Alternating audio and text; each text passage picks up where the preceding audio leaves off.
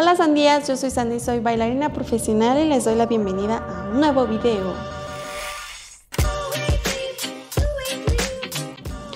Bueno, el día de hoy es un día muy especial porque hoy cumplimos un año con el canal. ¡Oh! La verdad es que tenía preparado algo muy especial, pero por el tiempo que tengo no me dio tiempo de grabarlo porque ya tengo más trabajo. Entonces, en lo que me organizo y todo, intentaré subirles el video que les tenía preparado para una semana después. O sea que igual en la siguiente semana se los subo. Bueno, em, como no quería así nada más que venir y decirles que hoy se cumple un año del canal, eh, quería contarles un poquito sobre mí, ya que eh, algunas personas me preguntan mucho que qué estudié, que cómo inicié en el baile, que tienen como varias dudas. Entonces eh, trataré de responder lo que me han preguntado. La verdad es que no anoté nada de lo que me preguntaron, solo son preguntas que recuerdo porque tuve como el tiempo de estarlas buscando y responderlas una por una. Entonces mm, comenzaré por qué estudié. ¿Qué estudié? Bueno, yo estudié la carrera de Artes Escénicas y Producción de Espectáculos. Eh, en esa carrera me tenía materias de danza, teatro, eh, música, canto eh, y producción. Pero producción mm, como que nos dieron como una embarradita de, todo. Y nuestra carrera estaba más enfocada en lo escénico, sobre todo en el teatro. Eso fue lo que estudié. Otra cosa que me preguntan mucho es que si se puede ser bailarín si no tienes como un cuerpo delgado. No sé por qué me preguntan eso. Pero sí, sí se puede. Hay muchos bailarines de muchos tipos de cuerpo, ajá, muchas complexiones diferentes y no es necesario tener un tipo de cuerpo para ser bailarín, por lo menos en el urbano. En ballet y contemporáneo y jazz sí son un poquito más estrictos.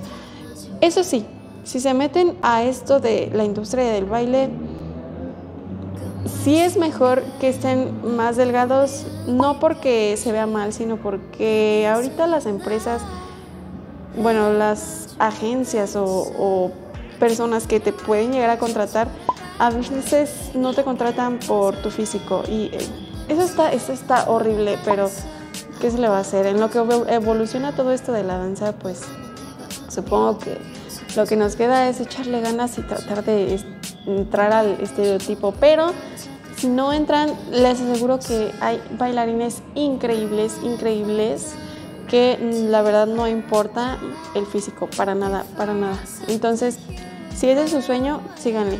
Todo se puede. ¿Cuánto tiempo llevo bailando? Profesionalmente llevo siete años bailando. Eh, em, inicié en el 2014, pero mm, bueno, realmente inicié en el 2012, pero en el 2012 yo tuve una lesión. Me esguincé la rodilla derecha y pues ni modo. Me tocó recuperación de un año entero. Literal, en un año entero, un año entero, todavía me costaba trabajo caminar. No podía caminar, pero como yo quería bailar, pues 2013 a 2014 fue cuando comencé a bailar de nuevo. Me dolía muchísimo, pero entrenando y haciendo ejercicios como de fuerza y algo como de rehabilitación más o menos porque nunca fui a rehabilitación, sino que yo solita hacía ejercicios en mi casa y me daba masajes y cosas así, fue que pude lograr a bailar de nuevo. Todavía tengo la rodilla un poco resentida, eso ya no se me va a quitar, pero ahora sí voy a rehabilitación bien porque sí se necesita. Y bueno, llevo siete años bailando. Eh, comencé bailando baile urbano, eh, fui a competencias de baile, de hip hop, de K-pop, fui juez en algunas competencias de K-pop y bueno, esa ha sido como mi historia en el baile y en el 2018 más o menos me convertí en maestra. Eh, me convertí en maestra porque el estudio en donde me contrataron al principio estaba buscando una persona que diera K-pop, pero en mi ciudad no había ni una alma, ni una alma de los maestros de urbano que bailara K-pop. Yo era la única. Eh, y como yo era una persona que entrenaba baile urbano y aparte me gustaba bailar el K-pop, pues concordaba en que diera clases porque sí sabía. No era como que nada más copiara los pasos y ya, sino que sí sabía la intención, sabía de dónde venía y todo esto. Entonces, no era como la mejor, pero era lo que había. Y ahorita ya considero que soy un poquito mejor maestra y que estoy un poquito más preparada como para dar clases. También me preguntan mucho que si necesito como hacer alguna dieta en específico para rendir tanto. Solo comer saludable. O sea, comer lo menos posible de chucherías y de cosas que no le sirven a tu cuerpo, porque esas cosas llegan a cansarte. O sea, literal, yo he sentido mi cuerpo cuando empiezo a comer así, que me canso más rápido y que todo el día tengo sueño y que no tengo energía de hacer nada. Solamente comer saludable, si pueden ir con un nutrólogo, pues está mucho mejor porque ellos son los que les va a decir qué es lo que necesitan para el nivel de ejercicio que están haciendo. Porque yo la verdad es que hago muchísimo ejercicio y sí necesito bastante comida, pero no puedo comer tanto porque engordo súper fácil. O sea, de que tomo agua y ya engordé. Otra cosa que me preguntaron, ¿hay tenis especiales para bailar? Sí, más o menos.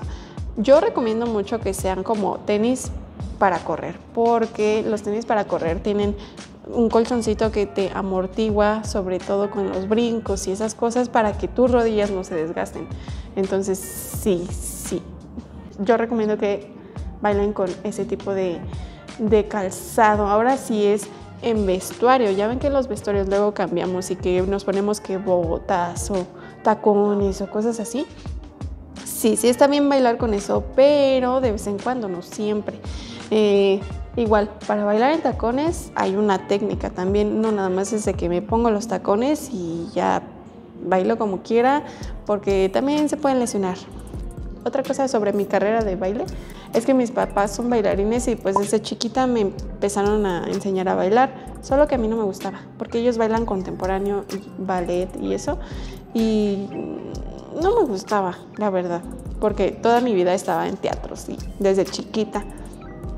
Y yo lo veía, era como, o sea, tener un niño ahí en los camerinos sin hacer nada, pues obviamente me va a aburrir. Y pues bueno, hasta que descubrí que me gustaba bailar eh, bailo hermano, fue que comencé a ya dedicarme bien a esto.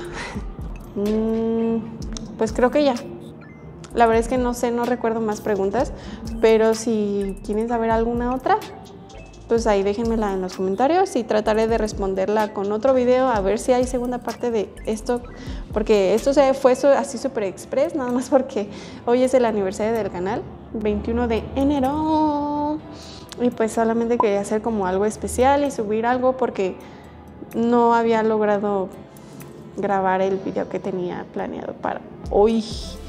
Pero bueno, espero que esto les haya aclarado algunas cosas y, ya. Ah, ya sé, ya sé. Otra cosa que me preguntan, bueno, esta no me preguntan, pero sí se los voy a contar de cómo conocí el K-pop y cómo es que comencé a bailar. yo estaba por ahí indagando en internet, así. y me encontré con un grupo de K-pop que se llama Shiny. Y bueno, yo los vi bailar y me enamoré. O sea, literal, me enamoré. Yo dije, quiero bailar como ellos. Y mis papás, como, les digo, mis papás son bailarines, me dijeron, ¿quieres bailar así? Tienes que entrenar. No se puede así nada más porque quieres. Y yo, ok, ok, yo quiero bailar como ellos. Y ya fue que me empecé a entrenar. a entrenar eh, todos los estilos para lograr bailar como ellos y realmente yo inicié a bailar por el K-Pop, por eso empecé a bailar.